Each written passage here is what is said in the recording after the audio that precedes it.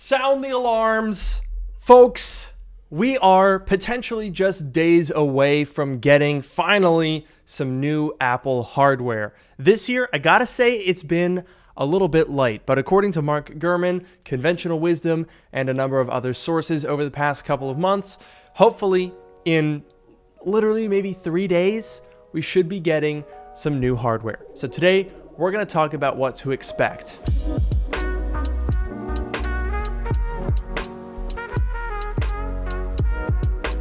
All right, let's not mess around here. I want to talk about new iPads because that was the big headline yesterday from Mark Gurman. He said that Apple is preparing to announce new 11 and 12.9 inch iPad Pros, presumably with the new M2 chip. These new models are codenamed J617 and J620, and they are long overdue because the iPad Pro has not been touched since April of 2021, so a year and a half ago. And that update, I think we'd all agree, was pretty minor. They swapped out the A12Z for the M1, they gave the 12.9 inch a somewhat iffy mini LED display, and that's about it. Now, unfortunately, it doesn't seem like we're in for a terribly different recipe this time around because Mark Gurman is no longer claiming that the 11 inch would also get a mini LED display. Instead, all we have are some speculations on potentially getting MagSafe for charging, potentially also getting reverse wireless charging capabilities. That's it. Apparently Apple was considering holding an event, but this is too small for that. And it does leave me wondering, what what is Apple's plan with the iPad Pro? Because I think we all agree that the 2018 model was fantastic. And then since then, for four years, it has just been these weird, minor, almost placeholder updates that every year seem like they're leading up to something bigger.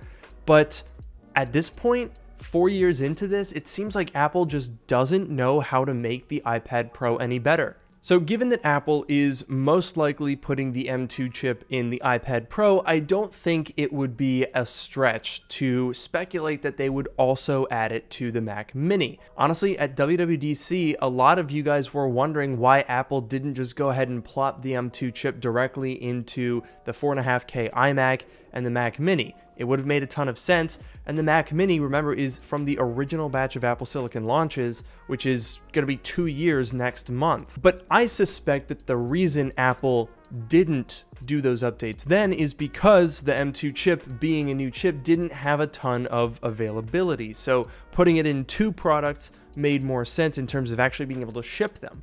But now it's been a couple of months. The M2 MacBook Pro and MacBook Air are pretty widely available. You can go into a store and pick one up right now if you want, and they're even showing up on sale in many cases.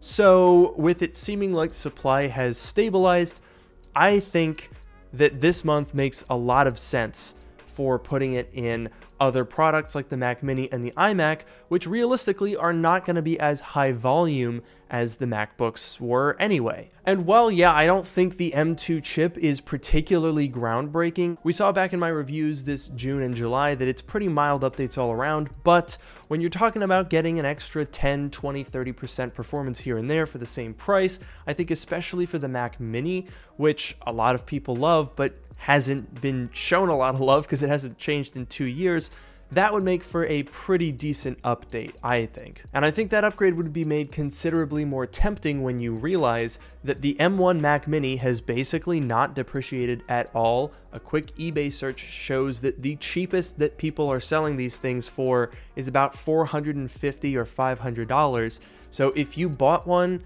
back in November of 2020, you can sell it at a total loss of $100 and buy right back in for more performance. All right, I'll take that deal, absolutely. Now, there is reason to think that Apple would do something like this. If you rewind time back to March of 2020, that is when Apple not only updated the MacBook Air with its final Intel refresh, they also introduced the 2020 refresh to the iPad Pro. So if we're getting iPad Pros this week, it seems pretty fitting that we would also get these Macs. But there are some other things that I've been wondering about, namely the higher end Macs. So Apple hasn't really gotten into a groove in terms of when they're doing these upgrades, but The 14 and 16 inch MacBook Pros are going to be turning a year old pretty much any day now. And a lot of us are wondering is there or where is the M2 Pro and M2 Max? There had been some rumors and speculation that those chips would actually be on a newer 3 nanometer production process that is apparently going into effect starting at the beginning of 2023. However, Personally, my take on this has always been why would they split the M2 generation in half with the base model chip on 5 nanometer plus plus and the higher end chip on 3 nanometer? That doesn't really make any sense to me. And conversely, I don't think it makes a ton of sense for Apple to really keep waiting on the rest of the M2 lineup.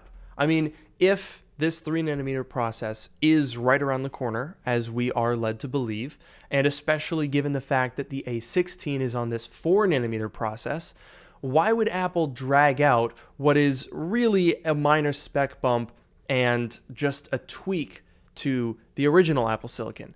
It, it doesn't really make a ton of sense to me, and especially when you talk about this in the lens of the Mac Pro, which we're still waiting on. I don't think it's coming out this year, and I don't think it's coming out with the M2 in it. There is very credible information that I have heard from sources that I've worked with in the past that suggest that Apple actually had a fully working M1 based Mac Pro that was done and ready to ship, but they held off.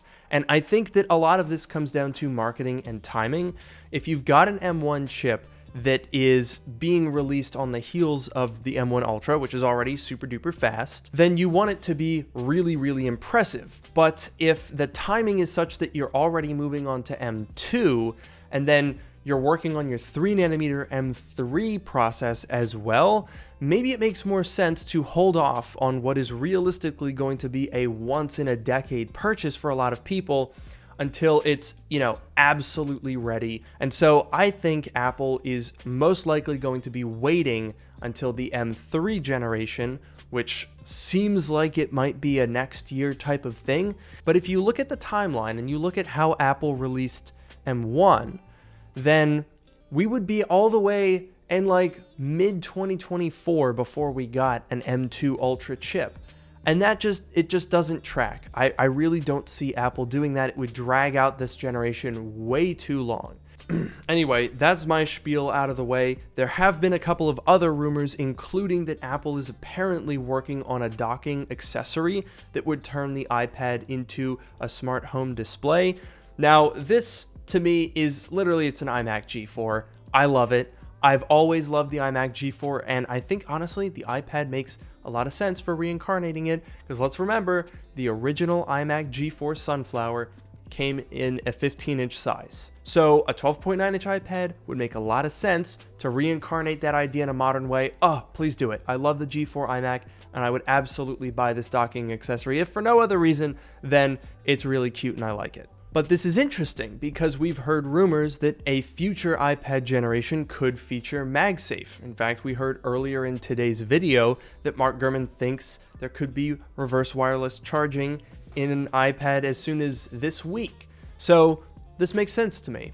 In other hardware news, we are still expecting a new iPhone SE 4 with a 6.1 inch display. This one is a rock solid rumor because it comes from my bestie, Ross Young, who I don't think has made a single mistake when it comes to displays. This is what he does, and he hits it nail on the head every single time. Basically, you can think of the iPhone SE4 as the iPhone 10R slash 11 reincarnated with most likely an A16 Bionic at a similar price to today's SE. I think that would make a lot of sense. The current SE design is definitely getting a little long in the tooth. It's arguably eight years old, so let's sunset that guy and move on to something a little bit more modern and hopefully with Face ID. And finally, we do have one last rumor, and I know you guys are super excited about this. It's the Apple TV. Can I get a round of applause? Absolutely, yeah. What a what a bombshell to end this video on. Anyway, Apple TV is supposedly going to be getting a faster chip. Oh boy. Increased RAM amount for similar gains. A new version of the Siri remote and potentially a lower price point. All jokes aside, the Apple TV is probably the best streaming box you can get out there, so I'm probably to pick one of those up. I still have, this is embarrassing, the uh, the Apple TV HD from 2015. Yeah, that I'm still using that thing. Uh, time for an upgrade for me. I'm waiting for this. But you know what you're not going to wait for? Is me wrapping up this video because it's happening right now. Thank you guys so much for watching. Like, comment, subscribe, and I'll see you in the next one.